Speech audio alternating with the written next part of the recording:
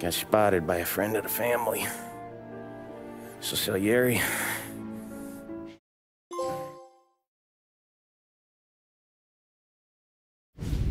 I sympathize with the situation, Tom, and